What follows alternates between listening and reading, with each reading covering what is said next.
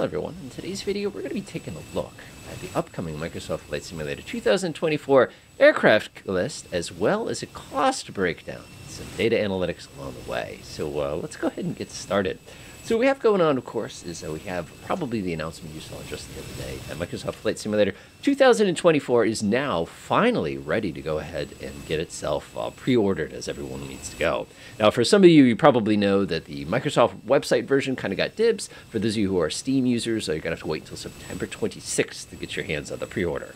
Now, what you're taking a look here is you're actually looking at the main uh, little FAQ that comes off the Zendesk. Uh, we'll actually have a little link down below if you want to kind of poke around with it.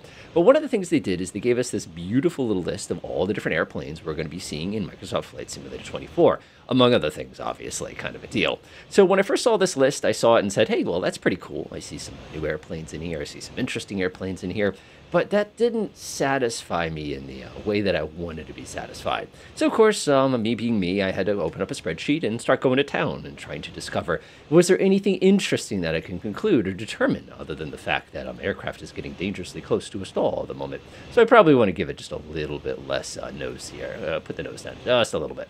There we go. That's a little bit safer. Much, much, much, much better. Fantastic. Ugh, go ahead and make sure everything's all set. There we go. Fantastic.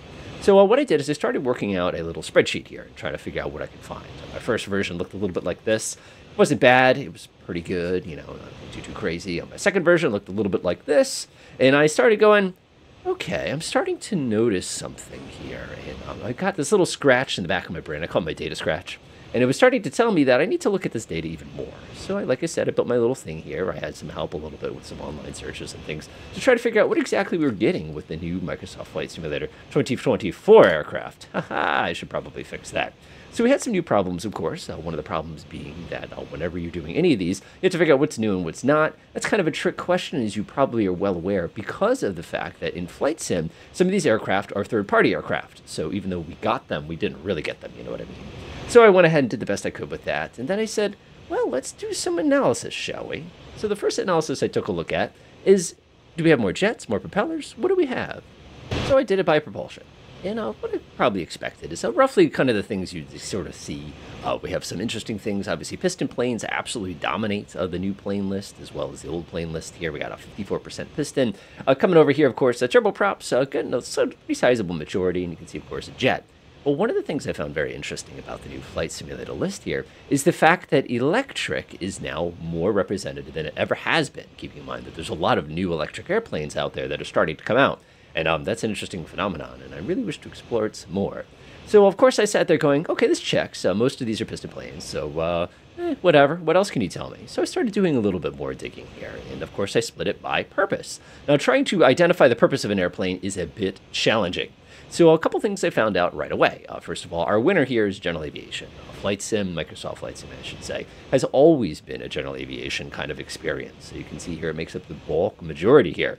Commercial, of course, uh, chilling here at about 19.4%. Not too, too bad. And of course, down from there we have utility. Uh, we have a bunch of firefighter planes now. We actually have a couple of these, including the uh, 747 Mega Bomber, which is pretty wild if you ask me. And of course, light sport makes up a hefty chunk.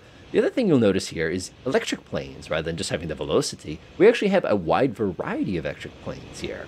So then I'm like, okay, this data is starting to come together. This data is starting to come together. Let's go take a peek at our uh, current journey here, making sure everything looks good. Ah, there we go. You can see we're taking that nice gentle turn there. Heading over to Teterboro here from uh, Boston. Making it nice and easy, uh, experiencing the T-33, which is just such a cool plane. All right, so back to the action here. So, of course, by purpose here, you can see very clearly general aviation is the purpose. So then I'm like, okay, okay, uh, do they have a bias maybe about manufacturers? So I did some research on this, and this required a little bit of work on my part to try to kind of narrow some of this down.